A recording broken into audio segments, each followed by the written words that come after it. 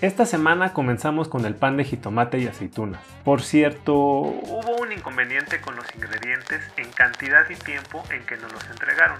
Pero al final, como debe ser, la situación se resolvió. Se juntaron los ingredientes de todos los equipos y se aprovechó para revisar la técnica de amasado en batidora y amasadora, ya que su secuencia es distinta al amasado manual.